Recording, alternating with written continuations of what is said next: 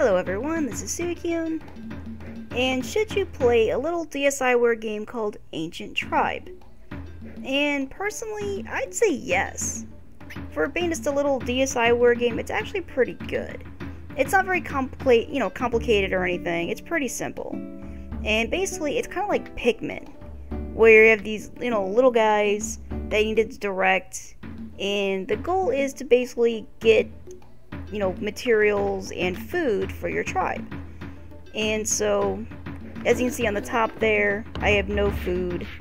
I've got some stone. You know, so I just killed that buffalo thing, so I got some food from that. So you want to have to at least meet the goal that's listed on the screen. So I need to get 500 pounds of food to feed the tribe. And I want to get as much stone and wood as possible so that I can build stuff and hire more people, or at least better people, you know, make upgrades and things. And, you know, I my characters are for a high, they're a high level for this level. This is the first level. So they're not going to die in this level. But if they die, then they're dead. You have to make new people, and they start from level 1 if they die. So you gotta be kind of careful when you first start out, because you can pretty easily die. You know, how I have three buffalo on me at one time. You know, that's pretty easy to have happen. And I'm using the uh, little joystick to move the camera so I can see what's going on. And then I tapped on the buffalo and they all ran over there. They can get stuck pretty easily on rocks and stuff. So you have to kind of watch it and as you can see there's kind of like a flower that's actually a sun.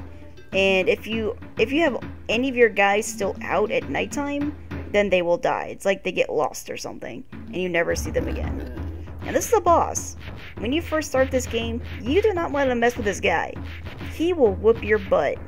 But because i'm fairly high level right now this guy is not going to hurt me at all really.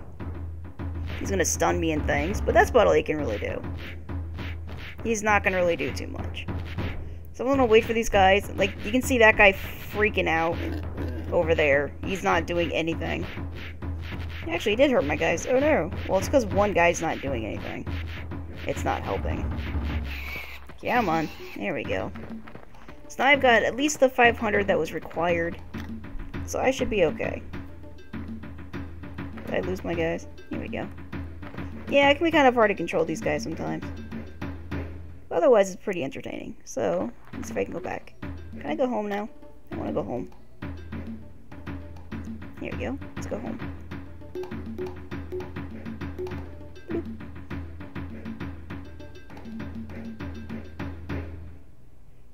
Okay.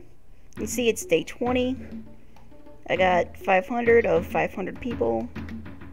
Cool.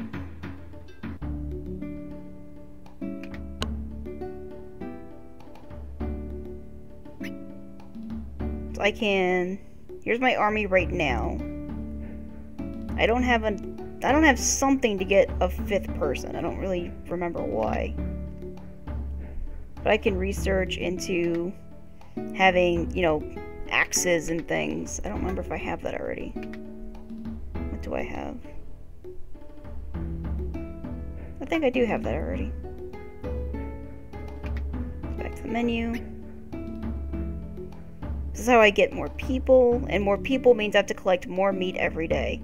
Otherwise, I think I lose population.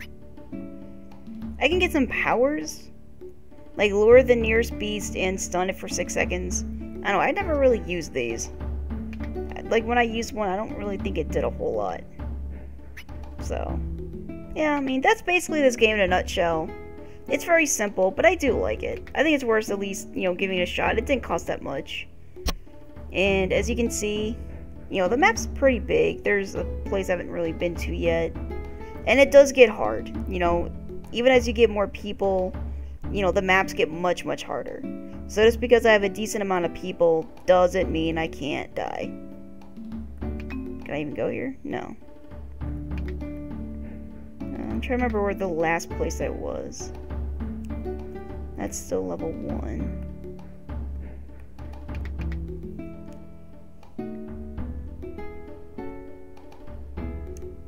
Trying to see if there's like a level 2 place. There's dark wood. Let's try going here. Let's see what happens if I go here. see how quickly I die. You can see just the resources. Like there's two wood right there, which is probably why I have so many of it. Or so much of it, I mean. Here's a boss. Let's go fight the boss. See if the boss will kill me. Come here, boss. Oh, there's a couple of them. That's probably not good. And of course, one dude's getting stuck again. You really want them to surround the monster if you can, but the AI sometimes. They'll just kind of do whatever they want if you let them. Come on, attack this guy. Stupid. Yeah, as you see, this guy's not going down as easy as the last one. Oh, that guy died. Oh no! And yeah, I'm basically letting my guys die on purpose just so I can show you. I don't remember what happens when all my guys die. Come on. Attack this guy. Stop being wussies. Go and attack him. Fight to the death. I command it. Come on. Stop getting distracted by your simple caveman brains.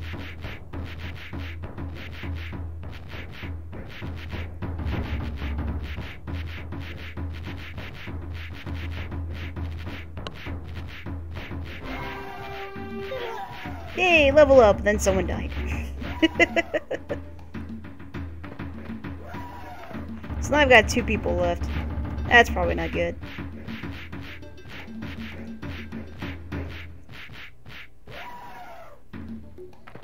Ah, let's kill him off just because. Let's see what happens. I don't remember what happens. I'm sure it won't take too long for him to die.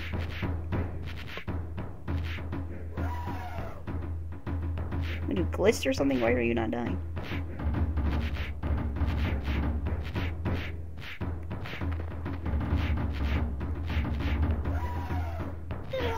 There we go.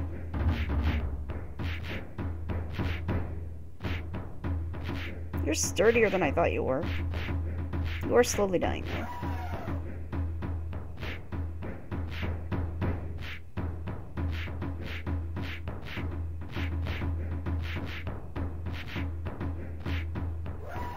And my guys are strong.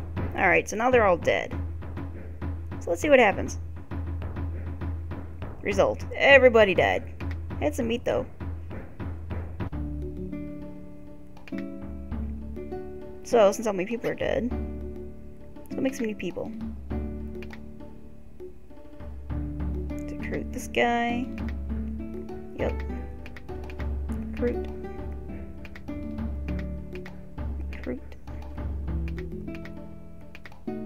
Recruit. So now I have a whole bunch of new people.